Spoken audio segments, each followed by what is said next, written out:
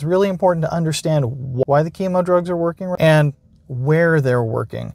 Because if your cancer is dividing rapidly, if it's growing super aggressively, then when you have chemo, if the chemo is effective, you're going to see a super rapid shrinkage of the tumor. But if your cancer is growing slowly and the cells only die when they try and divide, but they divide slowly, it's going to take a long time for your tumor to shrink or go away.